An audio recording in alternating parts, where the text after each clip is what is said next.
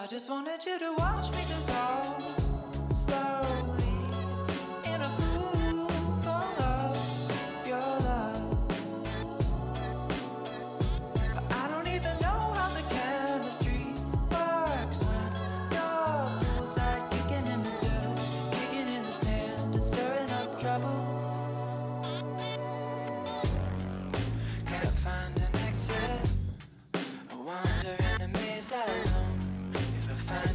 shot